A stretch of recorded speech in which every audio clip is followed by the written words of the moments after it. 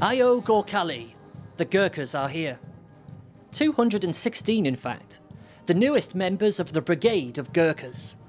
They're passing out of training in Catterick and moving into the field army. Passing out today is just one chapter in the story of these soldiers' careers so far in the British Army. For most of the recruits, the story started last year in Nepal with a grueling selection process in order to earn their place on the course here in Catterick. It's the culmination of nine months' worth of training, and for the men concerned, there's been many challenges. First of all, to uh, adapt in this environment is the first challenge for me because I'm from the uh, hot zone of Nepal, uh, where was the environment was a bit hotter than here. And the uh, other thing uh, was to play with the new rifles like arms. It, it, was a challenge for me.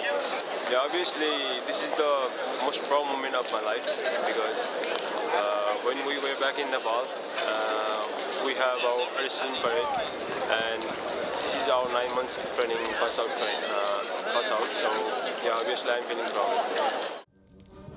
Inspecting the soldiers, who stand to attention with their iconic kukris drawn, is Lieutenant General Richard Wardlaw, the Chief of Defence Logistics and Support, and Colonel Commandant of the Brigade of Gurkhas. Be proud of who you are now, a Gurkha, but do so with humility and integrity.